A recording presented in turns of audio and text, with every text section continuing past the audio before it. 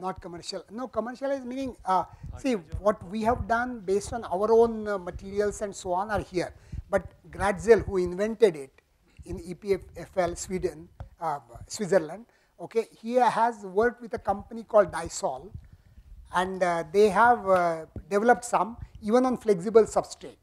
Okay, so but our material and our knowledge, for example, room temperature one is our own thing. That is not his thing. So we have some new things which are completely different than what he has done. Okay, but then on plastic substrates, if somebody is interested, they can come to us and so on. So we have a, our own patents which are different than the commercialized patents of those people. So that's how it works. Why I was asking because these solar cells are not manufactured in India at all. Not at all. There is not even silicon. Forget see silicon. Also, we are just so people who are giving us, they buy the silicon solar cell, they paste it on the plastic and give us. That is how that our manufacturing is.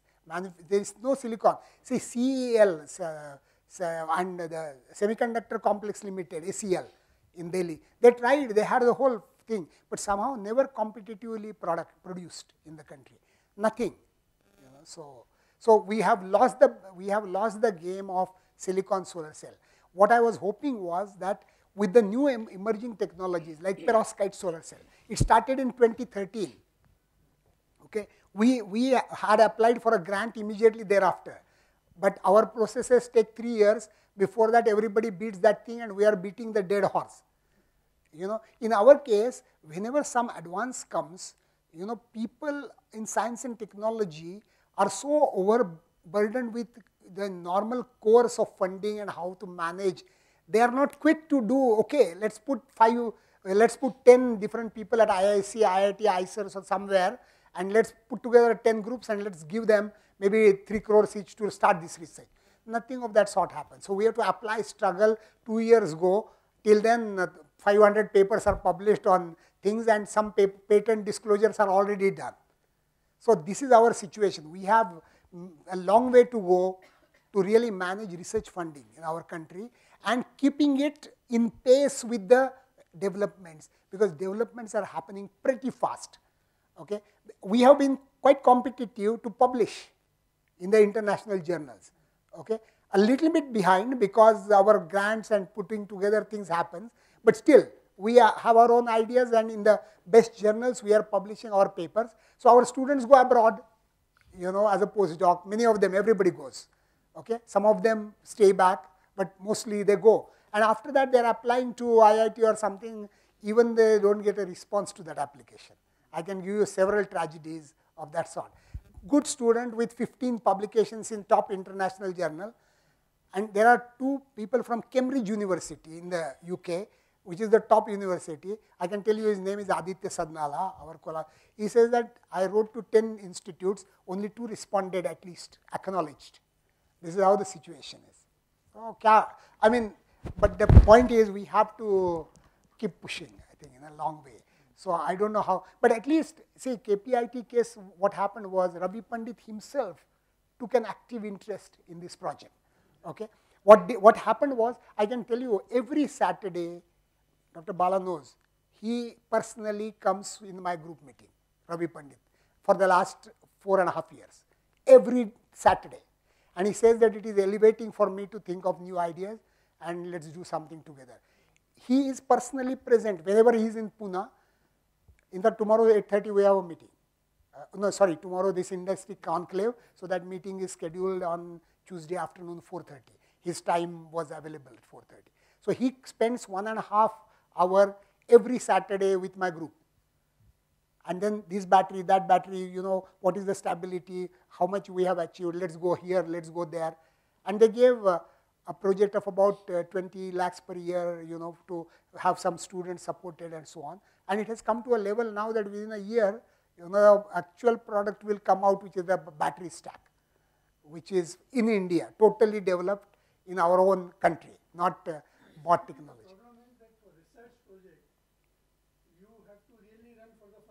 Yes. Then, no, and, but I will tell you another case. Reliance had come, okay, and for when I was in NCL, and there were discussions about some project, okay, then the pro- it would cost maybe 15 lakhs or something. So then they said, let's apply to CSR. I said, why you apply to CSR? They are billions. So that NMITLI, they said, uh, yeah, there is this NMITLI project and so on. I said, why not at least you give initial fund, if the thing succeeds, if we want 5 crores, then okay, we can go somewhere else. But this is how the discussion, it stopped, we didn't have that project. I'm telling you, I- mean, this is a clear example of a situation where why not can they put one crore? You know, if they are really interested, that means they were not really interested. Okay. I'm not talking about that company. Maybe for that project they were not really interested. Somebody else maybe. So I don't want to blame their entire R&D. But those who interacted with us, and we had a lot of uh, discussion. But after that, where do we go for funding? I said, why we have to go for funding anywhere else? Yes. Uh, Very nice uh, talk, sir. Thank I'm you. interested to work with uh, MNCs for collaborative research. Yes. In fact, I have worked earlier while in NCL. We had a project from uh, Applied Materials in the US and semiconductor coatings technology. And we had a project for about six months to do a specific task. And they have a project with IIT Bombay. Okay. But you know what happens is MNCs many times have a feeling that research will happen only in IITs, not elsewhere. But that is not the case. There are IISERs now are extremely good institutes. Yes. And uh, I know uh, applied uh, materials. Yes, yes. Chandrachud uh, uh, Nirvankar. Nirvankar is a, a- in fact, his wife is my student from Pune University earlier and so on. So we had a project with him. I'll talk to you offline. Yeah, yeah, yeah, please. So in this email you can talk and also I will give you my mobile number. Yes, sir. Yeah. So firstly, compliments for Thank a non-science background uh, I see, okay. person. It's quite enlightening. Thank you. Yeah. No, not at all. Yeah. I, I, I can write coding. but yeah. I'm not an engineer per se. Okay. Number one. Number two, uh, first is a concern. Uh, are we becoming slave to technology? The link to that is my second question. Uh, all these things looks very great.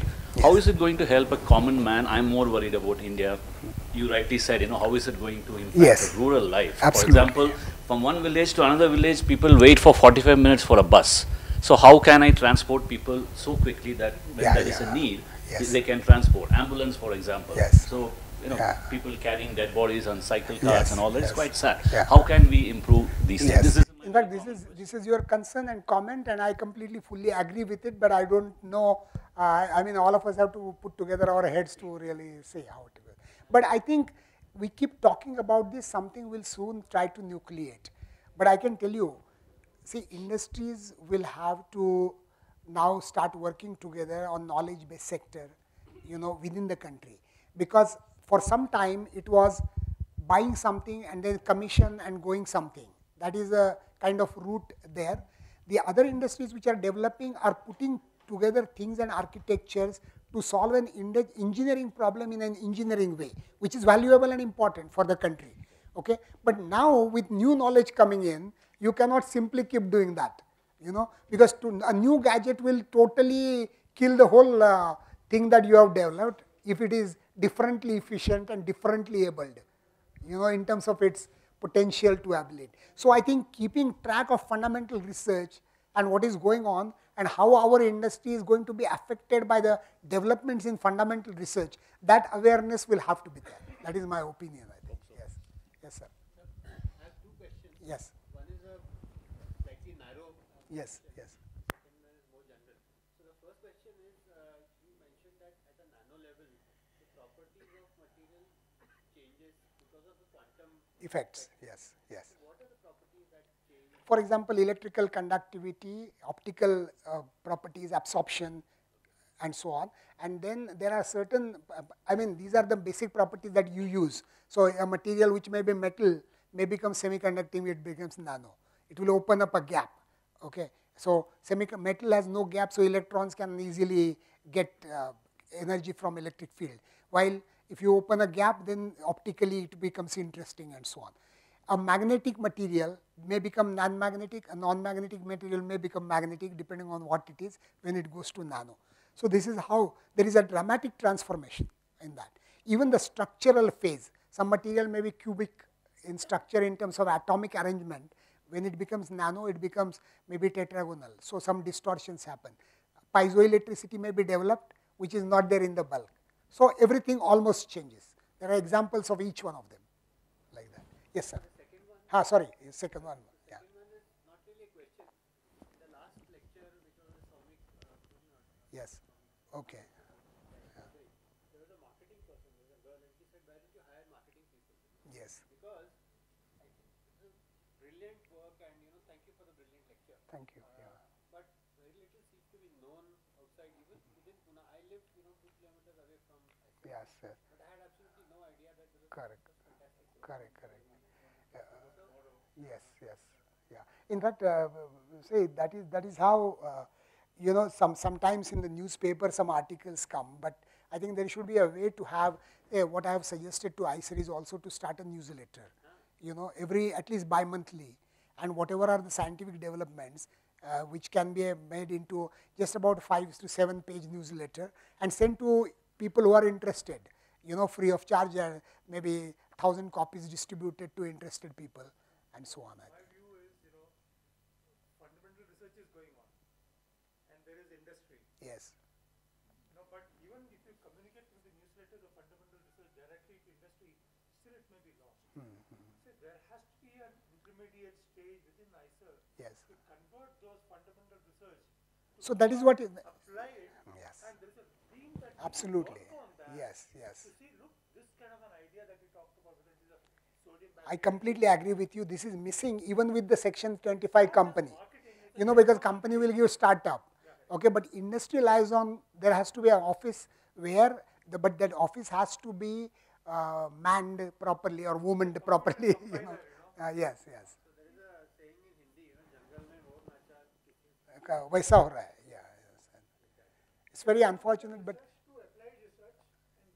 correct. That intermediate step is missing. See applied research we are doing but you know how that application is going to a product that particular linkage is missing. So like the, the, the incubation center is the one where it is generally done in the us okay so we are going to have an incubation center.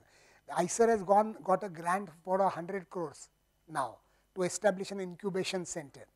Okay. There some small businesses can be incubated, but these types of interaction should be forged. You know, I, I, I think what one could do is, you know, in tomorrow's conclave, one, one can propose this kind of a center. You know, it would be nice to uh, plan to say something. Okay, that's fine.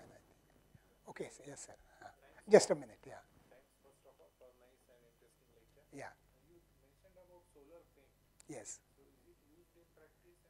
No, not used in practice yet. Because, see, for economic reasons, you know, its efficiency has to go beyond a certain point.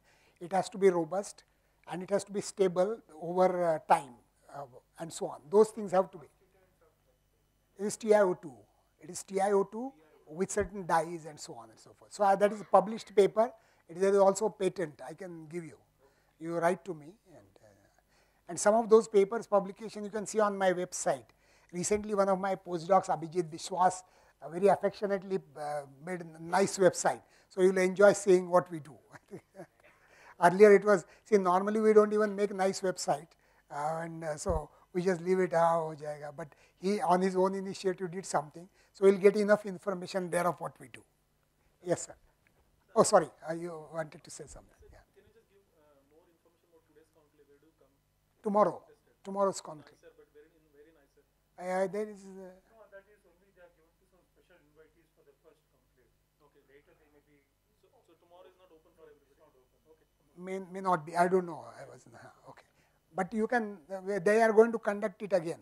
But anyway, you can directly come and now the conclave is between us now, okay. And I will introduce you to several, several young faculty also, uh, whichever is suitable for your program, you can start interacting.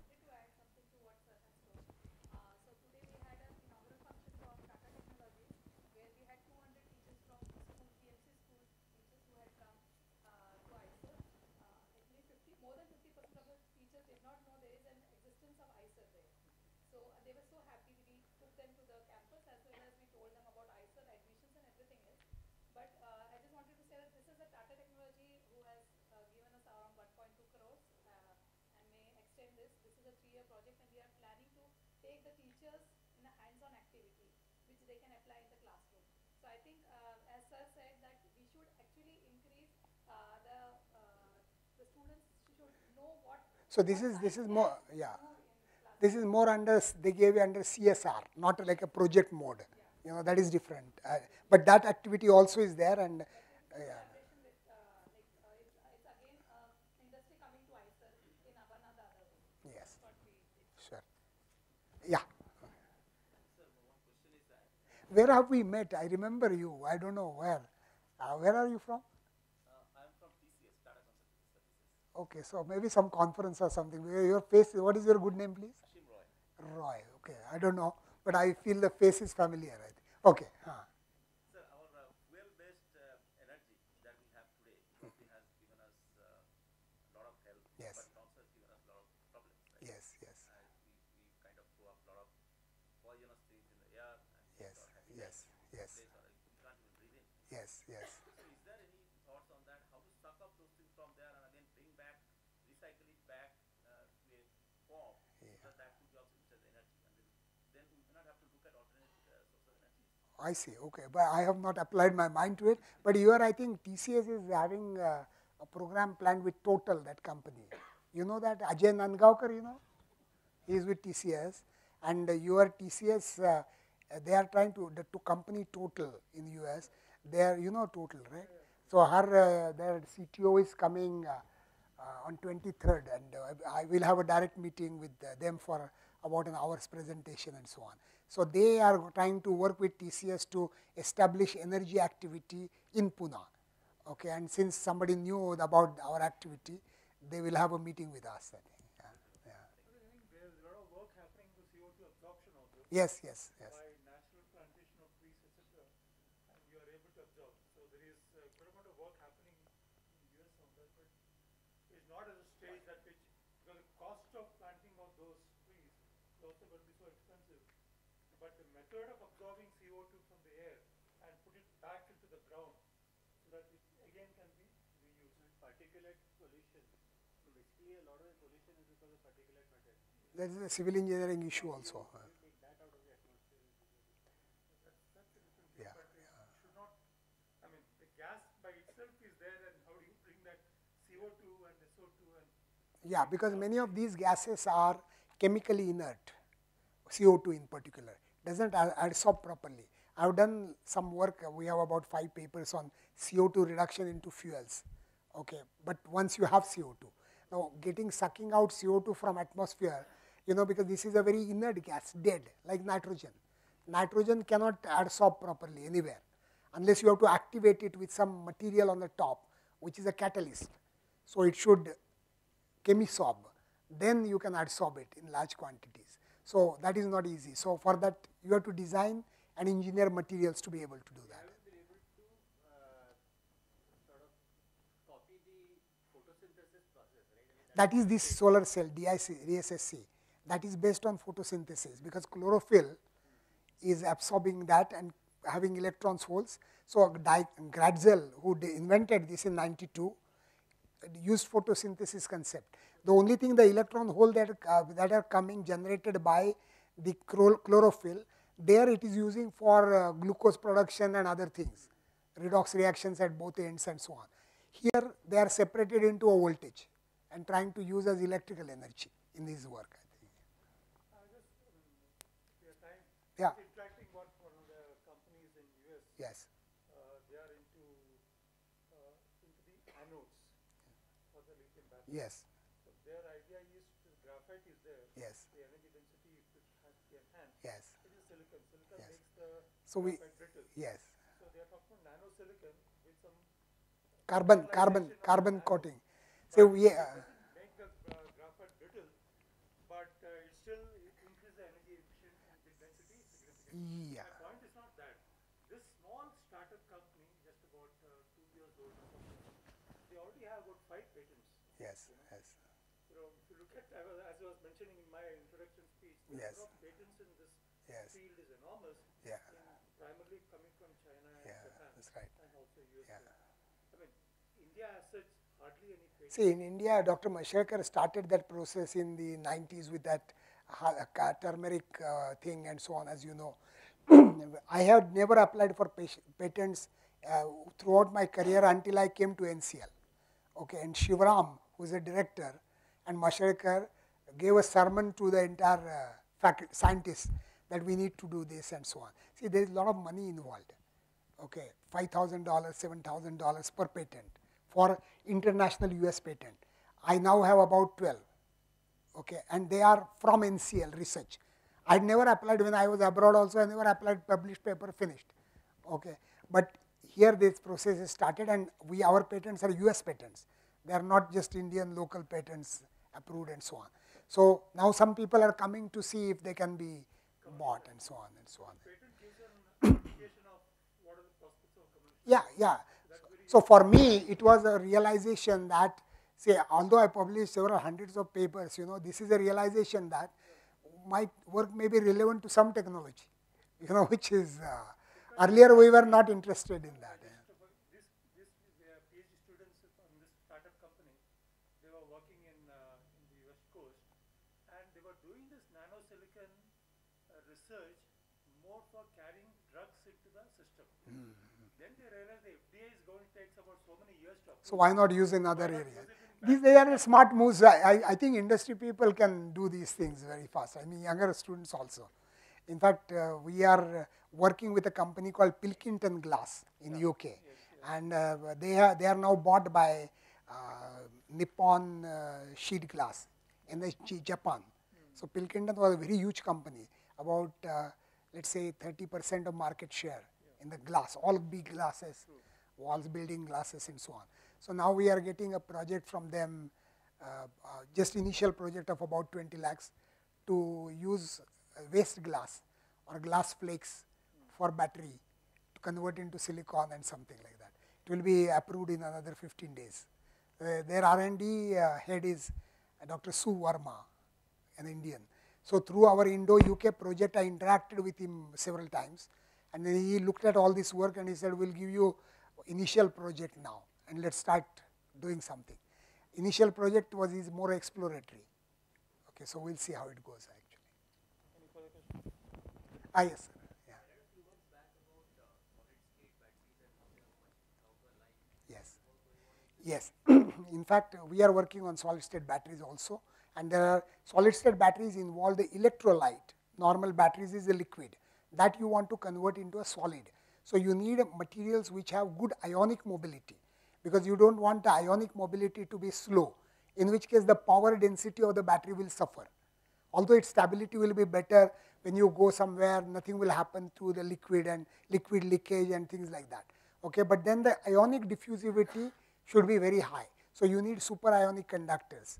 That is not my primary area of expertise. So i'm working with some other people to see how to make those materials. So one of my students aparna deshpande and another kingshuk roy they are working on this actually making it Dr. Professor John Goodward or good enough good enough? uh, he is 93 and still working Exactly. 94 sorry